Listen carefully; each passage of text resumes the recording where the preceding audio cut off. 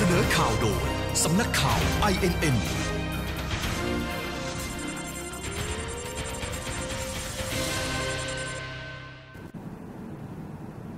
10นาฬิกามาติดตามข่าวกับดิฉันปริชาแจ้งโรจจากสำนักข่าว INN ค่ะ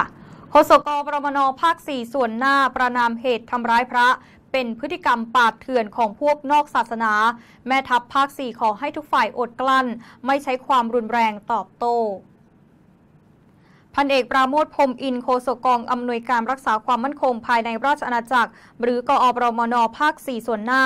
เปิดเผยว่าจากกรณีคนร้ายได้ใช้อาวุธปืนสงคราม บุกยิงพระภายในวัดรัตนานุภาพตำบลโต๊ะเดงอำเภอสุไหงป่าดี จังหวัดนราธิวาสเป็นเหตุเจ้าวาดและพระลูกวัดมรณภาพสองรูป และบาดเจ็บสองรูปนั้น แสดงให้เห็นว่าพฤติกรรมของคนร้ายสร้างความเศร้าสลดให้กับพุทธศาสนิกชน ไม่เว้นแม้แต่มุสลิมที่ยอมรับไม่ได้ กับพฤติกรรมอันโหดร้ายทารุณเยี่ยงสัตว์ป่า ที่กระทำกับพระพิสุที่กำลังปฏิบัติธรรม และไม่มีหลักคำสอนใด ๆ ในอันกุรอานที่สอนให้กระทำเช่นนี้ ซึ่งเป็นเหมือนพฤติกรรมของพวกนอกศาสนา ด้านพลโทพรศักดิ์ภูลสวัสดิ์แม่ทัพภาคที่ 4 ในฐานะผู้อำนวยการกอรมนภาค 4 ได้ขอร้องให้ทุกฝ่ายได้ใช้ความอดทนอดกลั้น โดยไม่ใช้ความรุนแรงตอบโต้ เพราะจะตกเป็นหลุมพราง และจะทำให้เกิดความยุ่งยากในการแก้ปัญหามากยิ่งขึ้น โดยได้สั่งการให้เร่งติดตามจับกลุ่มกลุ่มคนร้ายมาลงโทษขั้นเด็ดขาด พร้อมกำชับเพิ่มมาตรการรักษาความปลอดภัย เป้าหมายอ่อนแอให้มากขึ้น โดยไม่ใช้มาตรการนอกกฎหมาย รวมทั้งขอให้เฝ้าระวังผู้นำศาสนาอิสลาม ที่อาจตกเป็นเหยื่อของสถานการณ์แล้วบิดเบือนข้อเท็จจริงว่า เป็นการกระทำของเจ้าหน้าที่ดังเช่นหลาย ๆ เหตุการณ์ที่ผ่านมา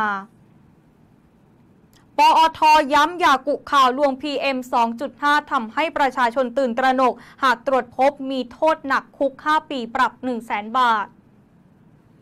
พันตำรวจเอกสิริวัตรดีพอผู้กำกับการ 3 กองบังคับการปราบปราม การกระทำความผิดเกี่ยวกับอาชญากรรมทางเทคโนโลยี หรือบก.ปอท.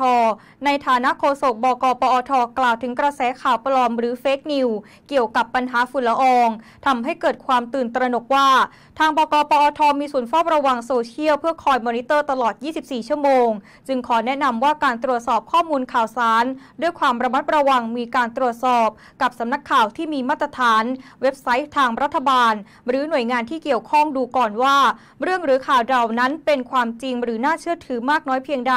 ก่อนจะส่งต่อให้คนอื่นๆ ข่าวที่เราอ่านแล้วเกิดความไม่สบายใจก็ต้องตรวจสอบให้ดีก่อน การกระทำในลักษณะสร้างหรือผลิตข่าวปลอม fake news ในลักษณะทำให้ประชาชนตื่นตระหนกจะเข้าข่ายความผิดตามพ.ร.บ.คอมพิวเตอร์ มาตรา 14 วงเล็บ 2 ผู้ใดนำเข้าสู่ระบบคอมพิวเตอร์ ซึ่งข้อมูลคอมพิวเตอร์อันเป็นเท็จโดยประการที่น่าจะเกิดความเสียหายต่อความมั่นคงของประเทศ หรือก่อให้เกิดความตื่นตระหนกแก่ประชาชน อัตราโทษจำคุกไม่เกิน 5 ปี ปรับไม่เกิน 1 0 0 0 0แสนบาทสำหรับเว็บไซต์ข่าวปลอมเหล่านี้ทางพลตำรวจตรีภัยบูลน้อยหุ่น ผู้บังคับการปอทได้กำชับ ให้ตรวจสอบดำเนินการอย่างเข้มข้น ประสานให้กระทรวงดิจิทัล เพื่อเศรษฐกิจและสังคม ในการปิดกั้นเว็บไซต์ข่าวปลอม เพื่อป้องกันพี่น้องประชาชนตกเป็นเหยื่ออีกทางหนึ่งด้วย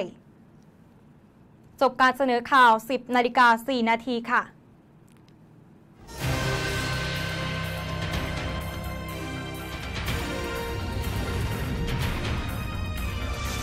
เสนอข่าวโดย สำนักข่าว INN